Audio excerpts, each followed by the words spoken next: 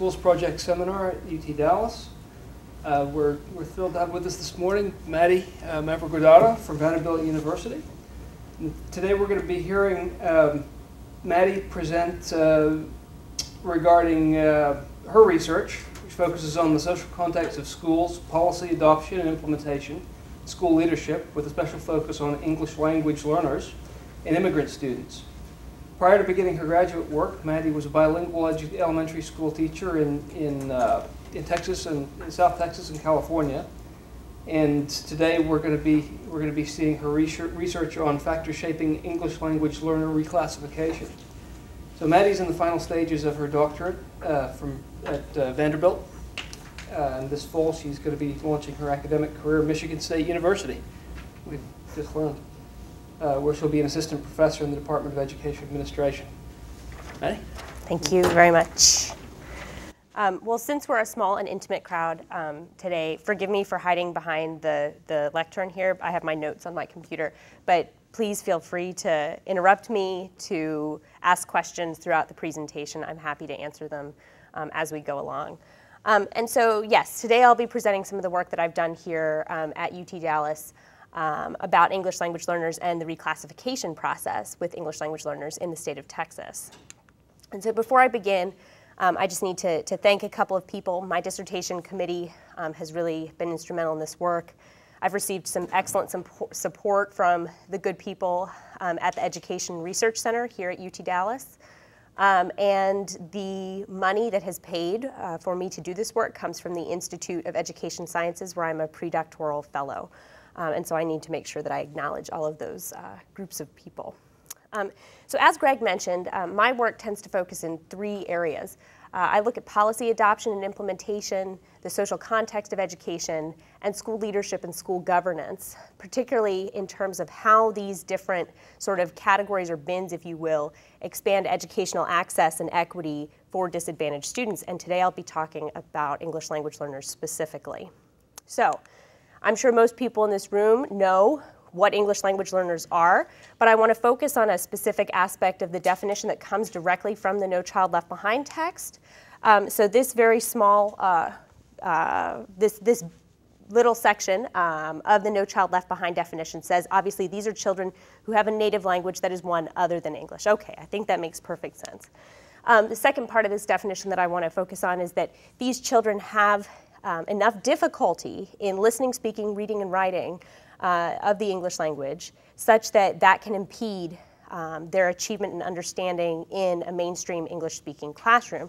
I also need to note, I think it's interesting to note, um, if we look down here, I think this is an interesting part of the No Child Left Behind text, that these students may not have the opportunity to participate fully in society. I'm a little, that language to me is a little loaded, um, but that's the way that the text reads, and I think it's an interesting aspect of, of the text to point out. So there is a policy response when we classify English language learners, um, and that is that they go into a specific instructional setting. Um, they are taught, or they are supposed to be taught, by specially certified teachers who have experience working with students who are non-native English speakers.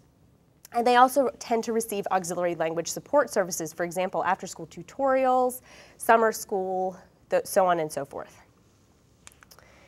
So why, why focus on English language learners? Why, why this group specifically? Um, first and foremost, there is long-standing um, lagging academic achievement between English language learners and students who are uh, fluent in English. And this gap is even greater between English language learners and those and, and um, uh, it's, it's, it's a greater gap for English language learners than it is for other subgroups that are focused on in No Child Left Behind. Uh, secondly, we've really witnessed a demographic shift. The state of Texas is used to having English language learners, but across the country, we're seeing English language learners be one of the most rapidly growing groups, and then we're seeing this aspect of diffusion. I'm in Tennessee right now at Vanderbilt University, um, and we have seen tremendous growth in Tennessee, upwards of 300 percent um, growth in our English language learner population. So this is a very new population in a number of states, and a number of states that don't typically know how to best educate this group of students. Um, And also, uh, we should also think about English language learners because of the federal uh, performance accountability pressure that's being placed on schools and districts and states across the country. Uh, specifically, I wanted to focus on two aspects of the federal performance accountability pressure, and those are in the box at the bottom. Um, in essence, No Child Left Behind requires states to monitor the progress that students are making in learning the English language on an annual basis, and also to describe the number and percentage of English language learners who attained English proficiency um, as determined by a valid and reliable assessment of the English, uh, their performance in the English language. Okay, so why specifically focus on English proficiency for this group as opposed to the achievement of English language learners? So what we know is that limited English proficiency can be thought of as a gatekeeper for immigrant students. So immigrant students um, who have limited English proficiency uh, tend to have less exposure to academic content. Um, they also often are in classrooms with reduced academic rigor or in school settings with reduced academic rigor. Um, oftentimes there's stratified course placement or tracking that takes place with these students. I think sometimes that's um, very unintentional. I think sometimes it's because, because of the requirements with the courses uh, that these students have to take. Um, oftentimes these courses can conflict and can sort of put students on a certain educational trajectory. You can imagine that as counselors are counseling students into certain classes, if that child has English language learner um, in their permanent record, the counselor is going to think differently about whether or not they should put that child in an advanced English class, an, an AP math class, where there's a high level of English proficiency um, required uh, to succeed in those classroom settings. Um, English proficiency is also seen as a means of building bridging social capital. And what I mean by that, that's a term uh, that Robert Putnam uses. But what I mean by that is that um, with English proficiency, students can connect to groups that are unlike themselves. So non-native English speakers have the ability to bridge this gap uh, with native English speakers and acquire a whole host of social networks because of acquiring English proficiency. Um, and so, for example, this can, can really uh, shift the way that students are able to utilize key institutional supports um, if schools provide counseling, if they provide tutorials, if they provide the, these whole host of social services and academic services, if they're only provided in English, that really limits English language learners from taking advantage of those support services. Um, and it also allows students the flexibility to take risks, both in the classroom and in the hallway. One of the things I want to make sure that I point out is that um, English language learner, learning status is meant to be a temporary classification.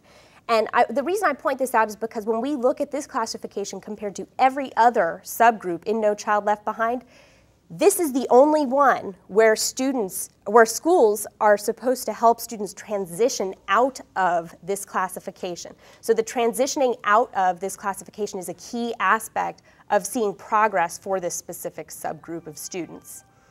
So therefore, I would argue that a key outcome of interest for this group is the timing of when a student is reclassified during their educational career.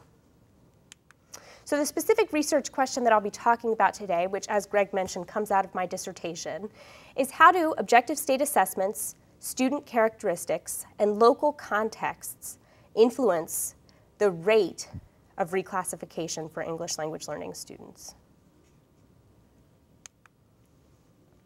There is actually very little research that has been done regarding reclassification of English language learners in terms of rigorous empirical research. Um, I'm trying to contribute to that literature, but there are a few studies that are, that are emerging and have been done in, in recent history. Um, so just to sort of mention a couple of these, we know that uh, students who remain English language learners for an extended period of time experience disproportionately high course failure rates, a lack of course credit accrual, increased dropout rates and reduced college entrance rates. And by extended periods of time, I mean upwards of five to seven years. They, they remain classified as English language learners even, after, even having been in US schools for five to seven years at that point. Um, we also know that um, being classified as an English language learner uh, tends to benefit students for a limited amount of time after arrival to the United States or beginning school in the United States. As we know, many English language learners have been born in the United States, so often it's not arrival but beginning school. Um, but that it can have a negative effect if they are retained as an ELL for too long of a period of time. There's a really interesting study that's been done recently that looks at reclassification as a treatment. Um, it uses a regression, fuzzy regression discontinuity design, where in essence we say, okay, kids who are just above and just below the cut point for being reclassified, we can treat that as measurement error. So those students have been randomly assigned to either receive the treatment of reclassification or serve as a control group and remain as English language learners. And this work that has been done um, by, um, by Robinson recently, um, in essence, what he argues is if we see when children are reclassified that their academic trajectory, their achievement suddenly goes up, that in essence what that means is they've been held as an English language learner for too long. If it suddenly declines, then they're no longer receiving the language support services that they needed to tick along in that educational trajectory that they had previously exhibited. And if it stays level, then they're being reclassified at approximately the right time in their educational career. This work comes out of the state of California and looks at uh, two school districts' data. So the contribution that I'm specifically trying to make with my dissertation uh, so let's just think about uh, students going along an educational trajectory. They come in in kindergarten, hopefully uh, they graduate and go on to post-secondary um, uh, education. At some point um, in their career, English language learners are meant to be reclassified at some point. So what we know is that reclassification can be thought of as a, as a cause where uh, we know that reclassification, the timing of a child's reclassification, um, can be a cause for uh, different sort of educational outcomes down the road, as I mentioned, course credit accrual, graduation, dropout rates, so on and so forth. But what we don't know um, is thinking of reclassification as the effect. So thinking of reclassification as the dependent variable as opposed to the independent variable. So what are the determinants of reclassification? Um, there are really two sort of bins um, of, of categories uh, that we should think about. The first are, are assessments. So generally speaking, English language learners um, take both English proficiency tests as well as achievement tests, and both of these factor into the decision as to whether or not they're reclassified. And then there's also this idea of subjective teacher recommendations and committee recommendations. Um, these are groups of people who meet um, at the school level to make decisions as to whether or not children are reclassified based on um, the assessment scores that uh, children have received, as well as observations that these teachers have done in the classroom and their knowledge of the students. So just to sort of, once again, give you a, a summary of my conceptual model. So in essence, we know um, that students have certain characteristics that are going to influence how they perform on assessments, and that these assessments are going to influence uh, the teacher recommendations in terms of whether or not a child is reclassified. Teacher recommendations will factor into a committee decision, and ultimately that committee will make the decision as to whether or not children are reclassified. Now, it would be great if everything worked in this nice, neat, nice, neat little package, but we also know that uh, student characteristics can influence teacher recommendations and committee decisions outside of working through this line of assessments that that these teachers and committees may uh, take into account um, certain student characteristics above and beyond how students are performing on the assessments. We also know that assessments could independently influence the committee decision outside of teacher recommendations in this process. And all of this is taking place in a local context, and I think that that's important to remember because districts and regions work very differently from one another. Um, the other thing I want to make sure to make clear is that teacher recommendations and ultimately the committee decision, I do not have access to the language that's happening between teachers in terms of their actual recommendation.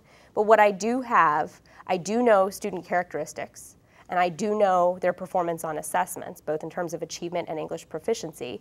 And so if I'm able to net out the influence of those, I should be able to tap some of the teacher recommendations that are coming into play and how they're working through these other characteristics. Does anybody have any questions right now? Just pause for a second. Okay, if anything comes up, just let me know. So when I'm speaking specifically about assessments, just to flesh this out a little bit, like I said, there are two bins, English proficiency assessments and achievement tests. Um, English proficiency tests are required by No Child Left Behind. They must measure listening, speaking, reading, and writing skills in English. Um, and they have been improved quite significantly under No Child Left Behind due to extensive piloting and field testing. And that's because of the requirement that No Child Left Behind has for re- a reliable and valid assessment. That's actually included in the No Child Left Behind language. They're not perfect, but they're getting much better at actually measuring English proficiency. Um, and then in terms of achievement tests, um, achievement tests tend to be used by the vast majority of the states um, across the country to factor into these reclassification decisions. But a lot of folks who study language argue that these tests were designed to assess monolingual English uh, students' content area knowledge, for example, in reading or literacy, and that they're not designed to assess English proficiency. I heard, I read one of, uh, one of the scholars I read compared using these tests uh, to measure English proficiency, for example, using a reading test like the TAKS test to measure English proficiency, akin to using a science test to measure mathematics knowledge. They've not been designed to measure English proficiency, but they're being used in that fashion, and not just in Texas, but across, across the country. So, because of the emphasis that's been placed on standardized testing in federal legislation, um, assessment outcomes will likely be important predictors of the rate at which a child is reclassified. When I talk about student characteristics, I'm referring again to two different bins. The first are student demographics um, gender, ethnicity, free and reduced lunch status, parent education. These are all powerful predictors of whether or not a child is reclassified, and that comes out of the literature. It doesn't talk about the rate or when the child is reclassified, but just that these factor into the ultimate reclassification decision. Um, also, in terms of educational profile, um, there's an overrepresentation of English language learners in special education classes, and there's an underrepresentation of English language learners in gifted and talented classes.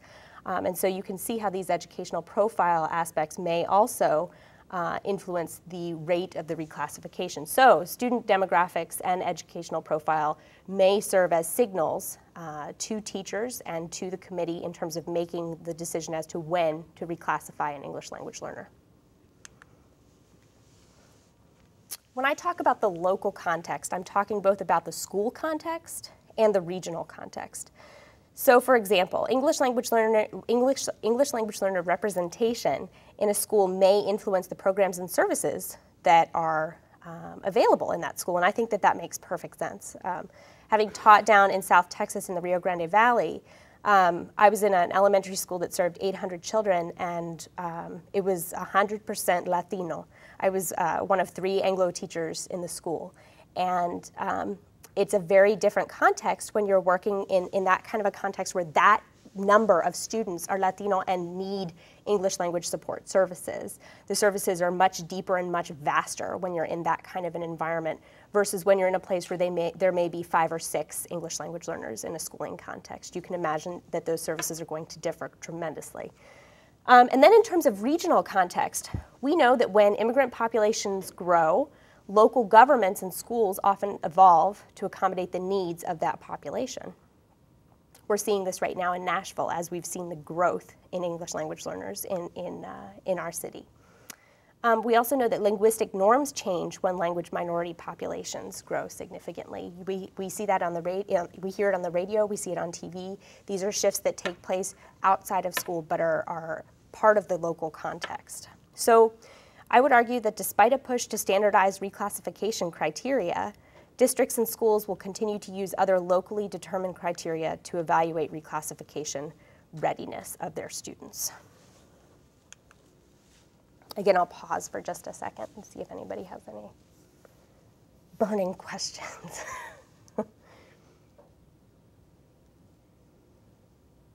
okay. Um, the context of the specific study that I've done obviously is the st state of Texas because I'm using the data that's available to me here. Um, the state of Texas has a growing English language learner population. Um, approximately uh, 830,000 students were English language learners um, in the 2010 to 2011 school year in the state of Texas, which is about 17% of the students in the state. Um, this number uh, and the proportion is only second to the state of California. Um, and this number has, is, is continuing to increase. While this is a long-standing population in the state of Texas, again, the number continues to increase rather rapidly. More than a billion dollars is spent in Texas annually uh, providing bilingual and ESL programs um, to English language learning students. Um, and approximately 90% of the English language learners are Spanish speakers in the state of Texas, but more than 100 languages are represented. So, for example, um, Vietnamese is, uh, is um, a, a, growing language, language in the Houston area where there's a growing Vietnamese population. So ELLs are identified um, in Texas first through a home language survey. And I know that the text here is, is very small, but let me come over here so I can read you exactly what the two questions are. Um, the first question is, what language is spoken in your home most of the time? And the second question, what language does your child or do you speak most of the time? Um, I have to point this out again. This is one of my little, I think this is interesting because I've reviewed a lot of home language surveys from different states. Um, I think it's interesting that the state of Texas decided to put this sort of paragraph structure into this home language, or excuse me, parenthesis structure into this home language survey. Um, this language survey is translated into a whole host of languages. If it's not available in the specific language that the parents uh, need, it's required to be translated for the parents. Um, and so if parents indicate in either of those questions that a language other than English is spoken, then the child is flagged as a potential English language learner. Um, and so if they're flagged, then they, at that point, take an English proficiency uh, assessment. Um, this assessment measures oral proficiency in kindergarten and first grade, and then once students go into grade two, um, they're also assessed in terms of um, reading and writing with this English proficiency assessment. So depending on how they score on the test, they will then be placed in English language learner programs and will be classified as an ELL um, if they score at a point that is below a certain threshold that's set by the state. One of the things I need to mention is that the state of Texas is interesting in that the specific test is selected from a list of approved assessments. So the state has a list of a number of assessments, the Woodcock Munoz, um, the TELPAS, um, the Tejas LEE, um, so on and so forth. There's a, just a whole host of, of assessments that can be used, and it's up to the district to determine which assessment they're actually going to use. However, the cut points are also set by the state.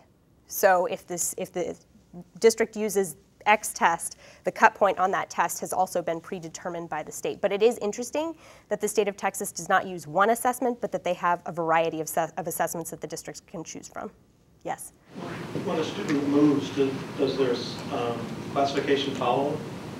So if I move from Richardson to Plano? Mm-hmm. It does if um, their permanent record follows them. And technically, it, technically it's supposed to, and in many cases it does. I think that that's actually improved. Um, so it wouldn't necessarily be retested? No, no, no. Um, now, when we do run into issues or when students cross state lines, that's when it becomes a, a bigger issue, yeah.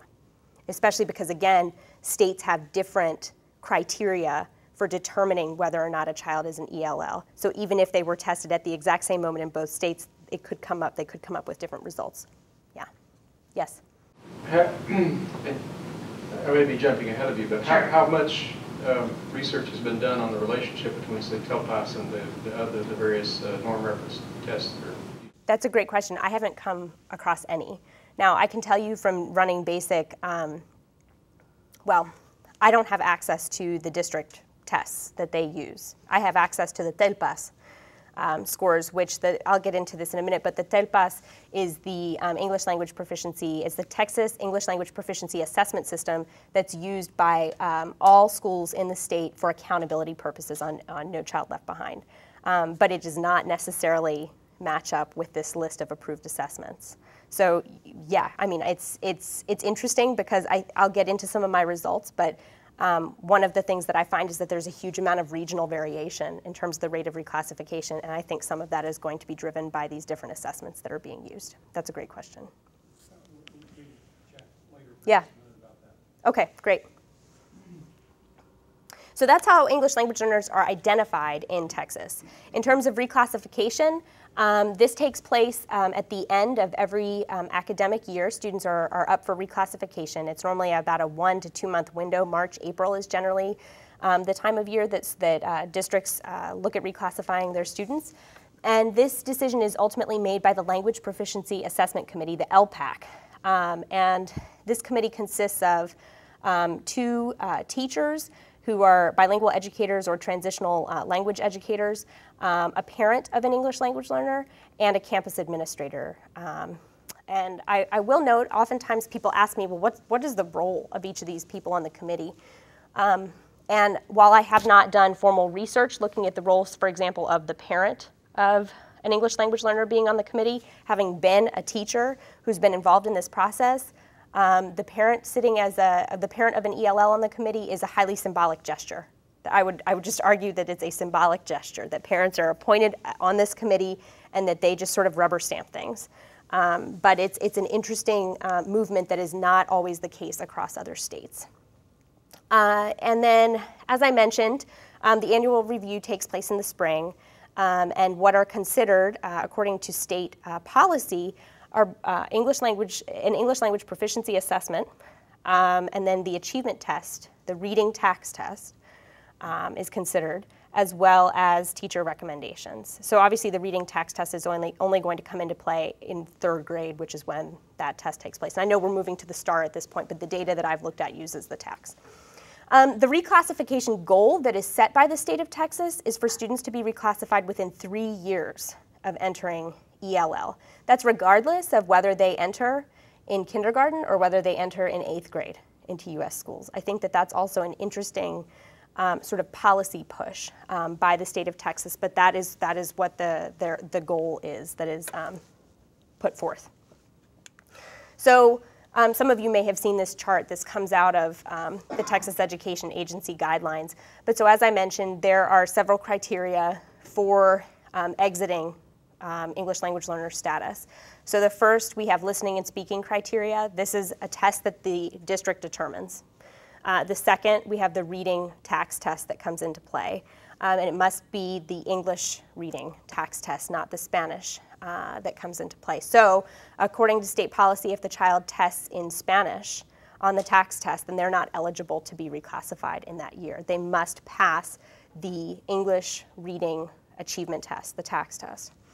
Um, and then the uh, writing um, um, assessment that comes into play in years where the writing TAKS test is offered, they must pass the writing TAKS test um, in English. And then in years where it is not offered, uh, they have to pass a, an agency approved test. Again, that's from a list of assessments, but I can also tell you from experience that the test that they tend to use is the TELPAS writing test because they are required to use that test for accountability purposes anyway. So why pay for another test and give your kids another test when you already have one that you can use? So it tends to be the TELPAS writing test. And then this last little category here, teacher recommendations. So assessments, anecdotal notes, portfolios, et cetera, sort of this black box of what, what that means. As uh, you all probably know, there are 20 um, Education Service Center regions in the state of Texas. Um, these were established in 1967, and the purpose of these regions is to coordinate educational planning uh, for the region um, and to work with the, te the, Texas Education Agency to raise the quality of, of district programs. So just for the sake of um, comparison. On the left is a map that I created using US uh, Census Bureau data from the American Community Survey. It shows the level of linguistic isolation in an area. What that means is um, nobody in the household over the age of 14 speaks English very well. So in the areas that are darker, for example, in the Rio Grande Valley in South Texas, um, that means that there's a high level of linguistic isolation. So the reason that I, I, I show you this is just to say when you think about the Educational Service Center regions and what they do in Texas, these are very different um, regions. And you can imagine that what is happening in those regions in terms of coordinating efforts with English language learners are going to be very different depending on the concentration of those students in that area. Students and families also, I would say. Any questions before I go on to some of the nitty gritty data? So the data that I use comes from the Texas Schools Microdata Panel um, here at uh, UT Dallas. Um, this is a confidential longitudinal data set that contains information on students, teachers, administrators, and schools throughout the state of Texas. Um, it's student level data, which is the beautiful thing about it. Um, each student is assigned a unique uh, student identifier, so we can track students across time. It's longitudinal. Um, and it's been collected since 1990, so it's, it's long standing, uh, which allows me to track students for a number of years. And there's a sufficient sample size for me to use in this data because it's the state of Texas. There are a number of English language learners in this state.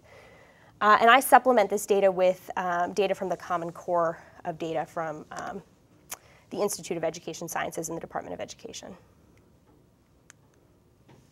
When I talk about uh, measuring reclassification, which is my dependent variable, um, whether or not a child is reclassified is, is, is just a zero or a one in my data.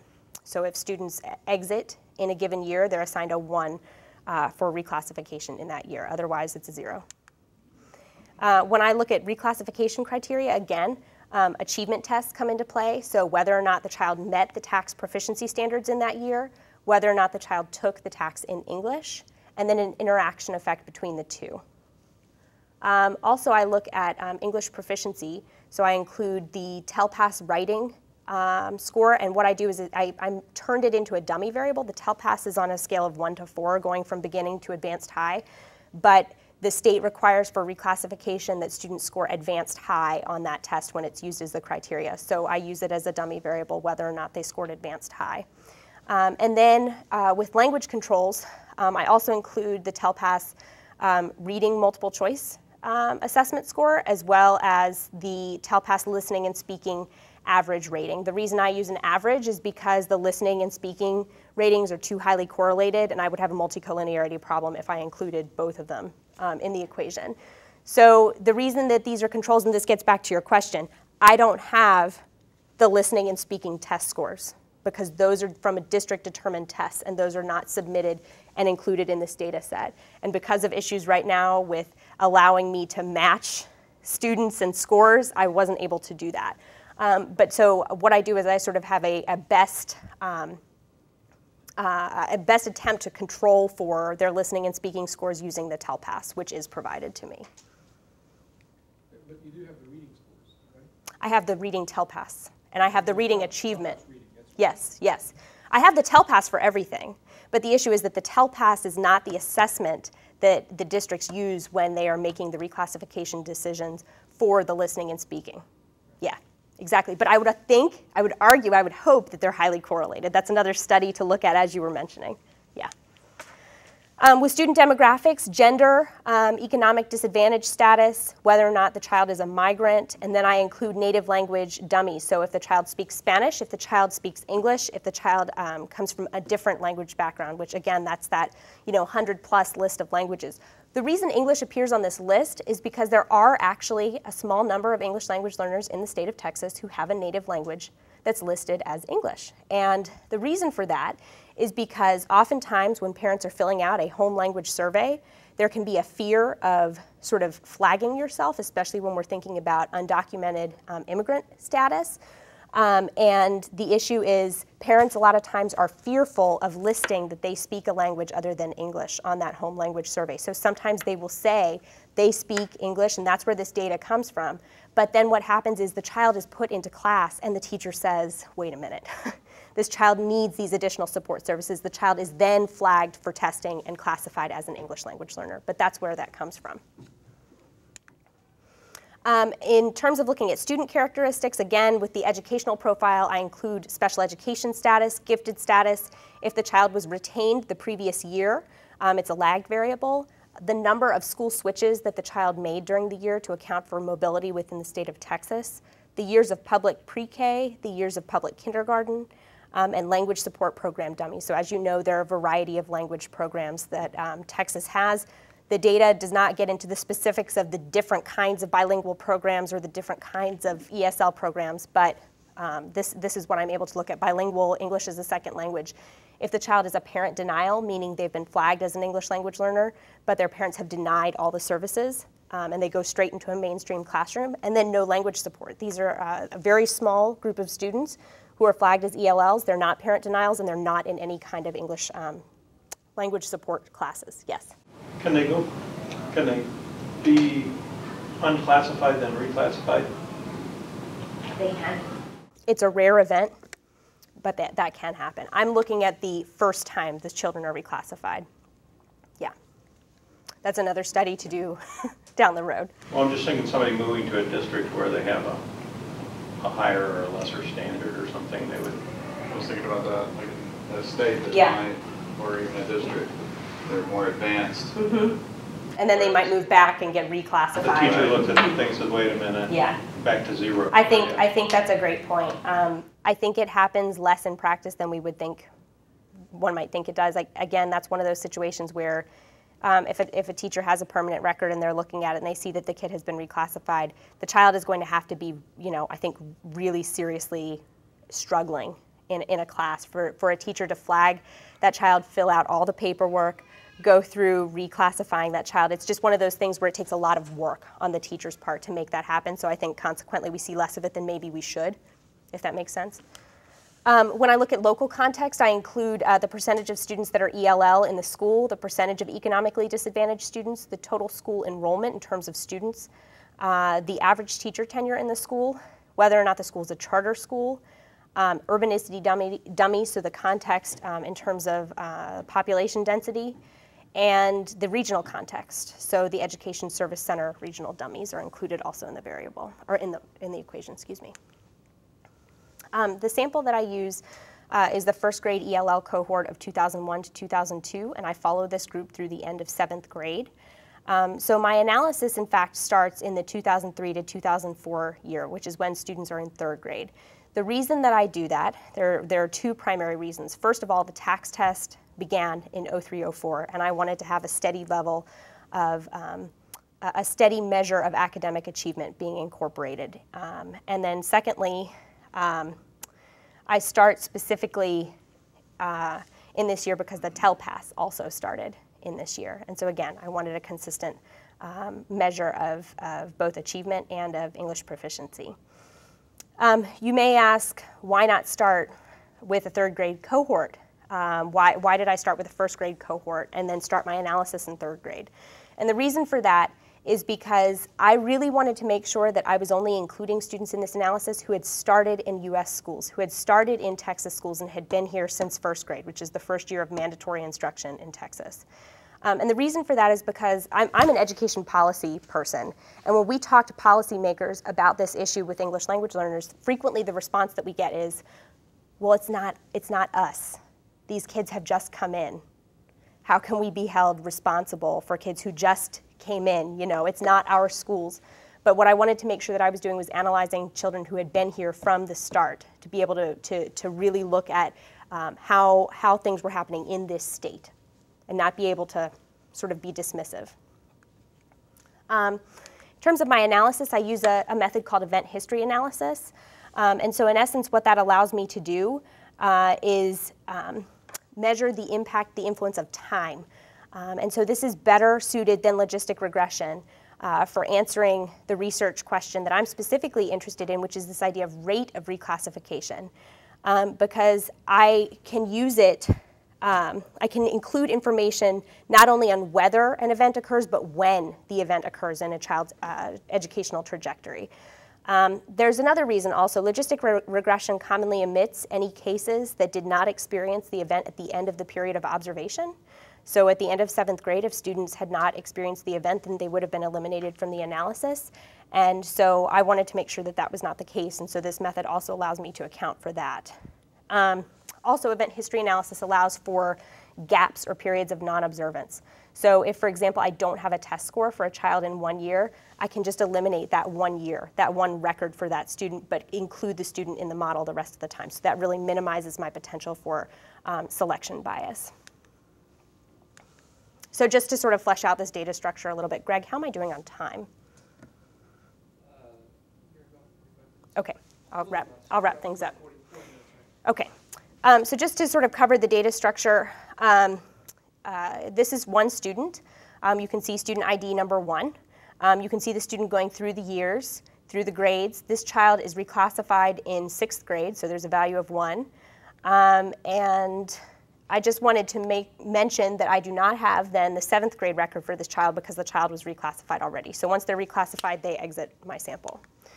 Um, child number two, you can see they are never reclassified the entire time they're under observance. So this child has been in US schools from first grade and is not reclassified by the end of uh, seventh grade. And then finally, um, well, let me mention also, you can see I have a missing test score here in this year. So as I mentioned, this method allows me to just get rid of this one uh, period of time, this one record for this individual student, but the student remains in the analysis for every other year. Um, student number three, I only have one record because that child was reclassified in first grade. Just to sort of make, try to help people visualize that a little bit. Yeah. What happened in your cohort for students that exited after second grade? If they exited after second grade, um, all of my students who are in the sample exited after second grade. No, since you track, you are starting Uh-huh. to track from third grade onwards, and your cohort starts in first grade. That's right. In one over zero zero. So what happens to students who are reclassified in first Yeah, or so second there's a large proportion of kids that exited your cohort already. It's not a large portion, it's actually a very small portion. Um, the vast majority of students are not exited until beginning in third grade. Um, students are not allowed to be reclassified um, until the end of first grade anyway by state law. Um, so they can't be reclassified in kindergarten, um, which was the other reason I didn't include kindergarten in my analysis. It's actually a very small portion of students. I can show you a graphic at the end in terms of the proportion.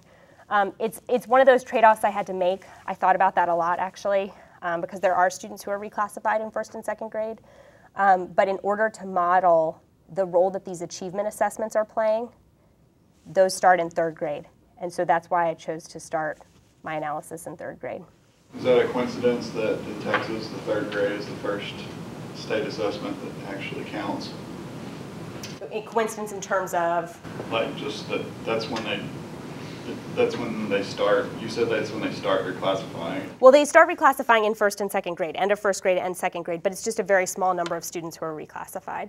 I mean, I think that a lot of that makes sense when we think about um, how long it takes students to learn a language. Um, people who study language and language acquisition would argue that it takes five to seven years at least for a child to acquire academic English language proficiency, not conversational, not playground language, but academic English language proficiency. So it would make sense that we see only a handful of students being reclassified in first and second grade. That will be very dependent on the district and the Sure. region. Sure. Yes, absolutely. It depends very much on the characteristics of the students who are there. Yeah. And, and the regional policies. And also the uh, income status. Yes, yes, the demographics, absolutely. Um, so the uh, longitudinal event history analysis sample that I include, you can see my sample is declining over time. The reason for that is because students are exiting. Um, so don't don't worry, I'm not losing students left over, you know, hand over fist.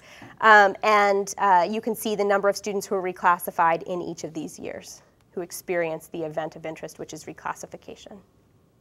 And maybe to answer your question, sir, I could include in this graphic in the future first and second grade just to get at that. That's a great point. Um, this is just some basic descriptives. I know that this is a lot of text on here, but I just wanted to sort of paint a picture of the students who are English language learners who, included, who are included in my sample. A couple of uh, things to point out. Um, Spanish is overwhelmingly the language that's spoken. 93% of the students are Spanish speakers. Um, 8% of the students are special education, 5% are gifted. The vast majority of instruction is in is a bilingual um, instructional setting. There are a handful of parents who are students who are parent denials, approximately 7%. Um, by and large, these students tend to be clustered in schools where there's a high proportion of students who are English language learners and a high proportion of economically disadvantaged students. Um, and as is the case with immigration in general, uh, it's a highly urban phenomenon. So the vast majority of these, well, the majority of these students are in urban and suburban settings. I also included these three regions because these three regions account for more than 50% of the English language learners in the state of Texas. So just to highlight those three. Uh, so this is the survival um, function. So there are two important distributional functions within event history analysis. The survival function is the probability that a unit will, quote, survive um, or fail to be reclassified longer than a specific point in time. So as you can see, there's quite a big drop in third grade. Remember, the first year of my analysis is third grade. There's quite a big drop. I think that has to do with um, the goal that is set by the state that students should be reclassified within three years of entry. I think that's a big part of this. I think a lot of it is also just language acquisition in general. But so you can sort of see these, these stair steps and how, how this process looks over time. Um, this is, uh, again, another survival function, but instead it's broken down by whether or not the child met TAKS proficiency standards in the year. So a couple of interesting things to note. The blue line is if they met TAKS proficiency standards that year, so you can see that the rate of survival or the rate of exiting ELL status is much steeper, so students are more likely to be reclassified faster if they're meeting TAKS proficiency standards, which makes sense. That, that agrees with the, the state policy. But one of the things that's very interesting is this red line here, which indicates that there are a number of students who are being reclassified even though they have not met those standards that are set by the state. Again, one more survival function. This time it's broken down by language group. Um, so you can see that the green line is students who speak a language other than Spanish or English. Um, so this would include Asian languages, this would include Middle Eastern languages, um, so on and so forth. So you can see that the rate of reclassification for, the, for that group of students is faster. Uh, just to very quickly explain uh, my model, um, which is a whole bunch of Greek, but um, in essence, the primary dependent variable of interest is the hazard rate, which is lambda sub it. Um, and this is the latent variable of the underlying risk process for an event occurring. And so the hazard function represents the instantaneous rate of change of the probability of experiencing uh, reclassification at a specific point in time, conditional upon having not experienced that event previously. Um, just to flesh out the model, these are the different bins of variables that I had mentioned earlier that are included. English proficiency ratings, achievement proficiency, so on and so forth. So to get, go ahead and get into the results. So for the sake of brevity, I've only presented significant results um, in my paper. I have obviously everything presented. Um, but what's interesting to note here is that the hazard of reclassification, if you look down, if you look at the exponentiated coefficient here, think about it as a factor that has a multiplicative effect on the hazard. So if it's greater than one, that means a child is more likely to be reclassified and it's happening faster, if you want to think about it that way. If it's less than one, it's happening at a slower rate. So in this case, all of these um, variables are um, greater than one, meaning all of these uh, variables contribute to a student being reclassified faster. So if they met TAKS proficiency standards, they're about 60% more likely to be reclassified at a given point in time. I think that this is very interesting. If the child took the TAKS test in English, which is what the policy says um, should be happening, um, that these students are about 10 times more likely to be reclassified at a given point in time, which maybe should get us to start thinking about um, whether or not students are, well, to get us to start thinking about carefully about making decisions as to whether the child should be tested in English or in Spanish if children are that much less likely to be reclassified in English net of their actual English proficiency scores, if that makes sense. When we look at um, student characteristics, I think it's also interesting. Remember, I've controlled for, I've netted out English proficiency and achievement at this point, and there are a number of student characteristics that still matter um, in this process. So, for example, um, students who are in special education are about 89% um, as likely, so they are less likely uh, to be reclassified um, at a given point in time. So students who are special education are slower to be reclassified, whereas students who are gifted are faster to be reclassified.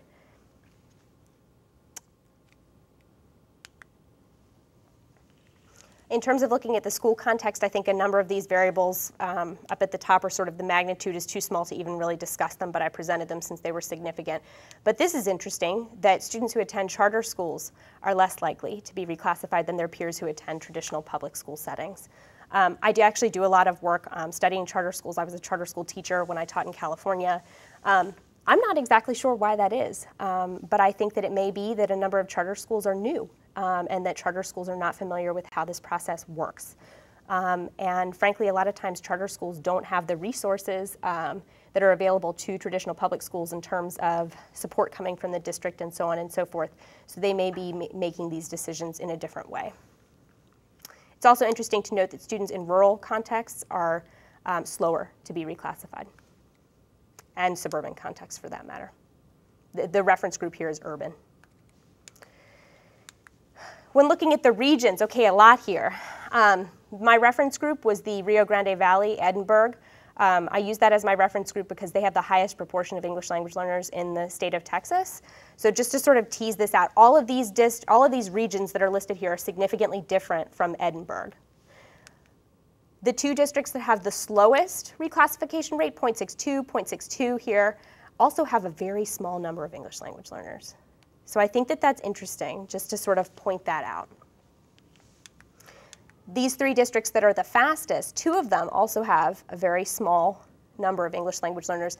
El Paso, I would almost call an outlier. I need to figure out what's, what's going on here in El Paso in terms of their re- rate of reclassification because they have a high number of English language learners, but they're also being reclassified at a very fast rate. So um, just to sort of wrap things up here, um, I wanted to mention that I think one of the things that's interesting to point out with this study um, is that there are a number of students who are long-term English language learners. So these are students who have been in U.S. schools, in Texas schools, from first grade all the way through seventh grade. They have not left the state of Texas.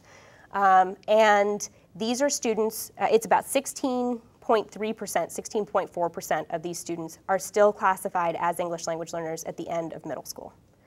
Um, and I don't think that people are very aware of that. I think that generally, by and large, uh, teachers, when you talk to them, um, if they teach, you know, sixth, seventh, eighth grade, they have English language learners. The impression is that these students came in later, um, at some point later during their educational trajectory, when in fact about 16% of them are still not reclassified by the end of middle school. And I think that that's something that we need to start thinking a little bit more deeply about. Um, the second thing, it's very clear that there's some sort of bending of the rules that's happening. I'm not saying it's a good thing or a bad thing. I think that that's actually sort of the next uh, piece of, of the study that I would like to, to look at, where we have these students who are being reclassified who have not met the criteria that the state sets. They've not passed the TAKS in reading. They've not taken the TAKS in English, so on and so forth. And that these these students are, I'll call, you know, I call them, you know, they're, they're bending the rules, um, or their teachers are bending the rules in terms of making these reclassification decisions. I don't know if it's a good thing or a bad thing for the students, but I think that that's a next step is to really look and say, okay, so for students who are not, uh, who are being reclassified when according to state policy they should not, is that having a positive influence on their academic achievement down the road, or is it having a negative influence? Let me go back here for just a sec. Can't you exit without passing TAKS if you score above the 40th percentile on a norm-reference test? No, Not anymore. no. They could a while back, but four, five years ago. If, with the TAKS test, and I know that the requirements have shifted under STAAR, period. They've changed actually. Um, but you must have passed. Maybe if you were a special education student and had an exemption not to take the TAKS test, but if you took the TAKS test, including the TAKS modified, um, then you had to pass that test in English to be reclassified. The probability of scoring 40th percentile or greater on a norm reference test and not passing TAKS is very low, Right. right? So, You would think that they would be I mean, very strongly We, related. we know it happens, but. Right. But, uh, but in a case where you had a child who was special needs, who was not taking the TAKS test to begin with, that's when those tests come into play. Now, those tests are what are used in order to make those decisions with listening and speaking, because that's, again, a, a state, uh, an assessment selected from a list of the state assessments. See, you, to pass the TAKS, depending on the grade level, you have to be at least around the 20th or 25th percentile. That's right. So if requirement for exiting is passing the TAKS, Mm-hmm. there will be some kids that will never be, get beyond the 20th Right, percentile. that's right. So that 16% number may be good. The which percent number 16% of the kids that are still that are still there? there after in middle school. Okay, so and I and I and I understand that, but I think that one of the things that I would I would say is that um, I again go back to whether or not these type of assessments should be being used to make these decisions. The TAKS reading test is designed to measure literacy. It's not designed to measure English proficiency. So if that's what we're using, and I agree, and probably the reason that they haven't made it is because they haven't passed that test, right? But should that be the metric that we're using? Um, let me just go ahead and skip this. I know I'm getting close on my time. In terms of um, recommendations, I, I really think that a simple uh, policy recommendation um, would be to really consider the way that we're labeling English language learners. When you think about um, the English language learner classification, it incorporates just this huge variety of students students who are very close to acquiring English proficiency, students who just came in from a refugee situation and have had no formal schooling in their native language or in English. It's a vast classification. And one thing that might shift the way that we look at English language learners would be to include the number of years that they've been incorporated in Texas schools as part of their classification. So, for example, just ELL 2 would tell you that that child had been in the state of Texas for two years. ELL 7 would tell you that they've been there for seven years and that maybe we need to really focus on an intervention um, for, for those children. The other um, key uh, aspect of, of recommendations that I, I, would, I would like to think about is this idea of teacher recommendations and how they come into play in this process. So we know that teacher recommendations are allowed to come in, that's in the state policy, but there's no guidelines in terms of how teacher recommendations factor into this equation.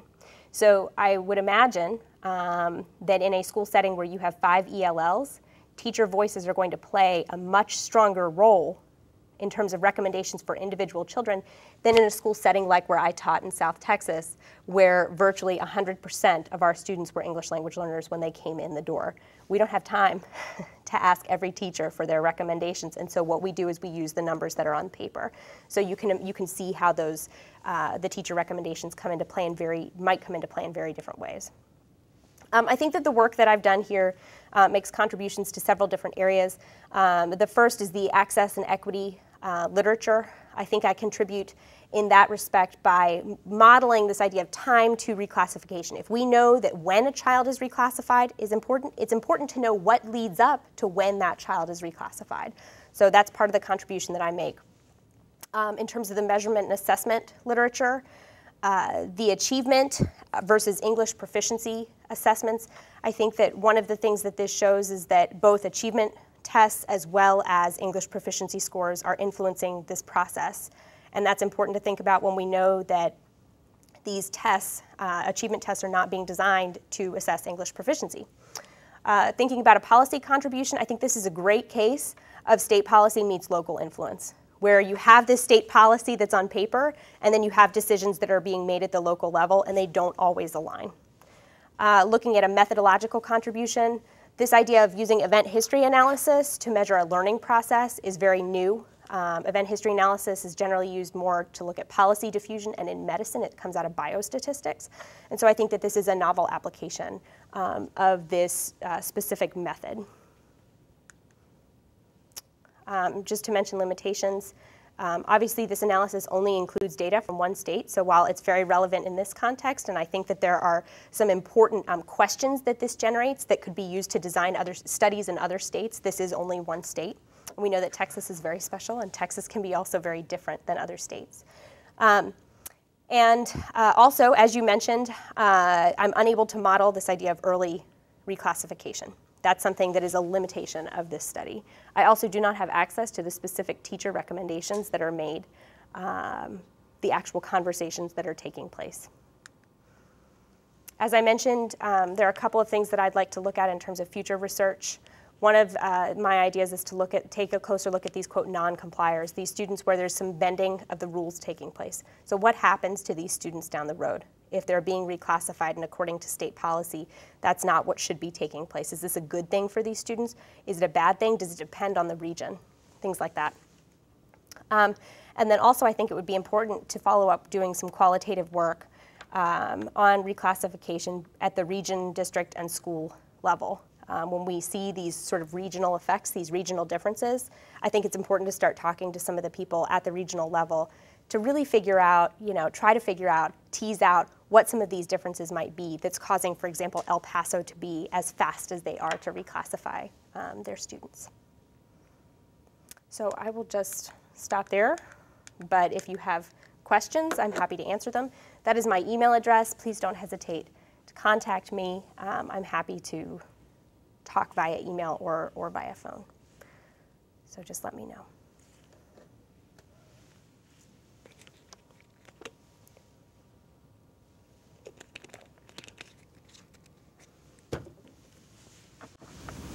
Okay, well, Madeline will be around for a minute or two after the seminar. That's right. If anyone would like to speak with her.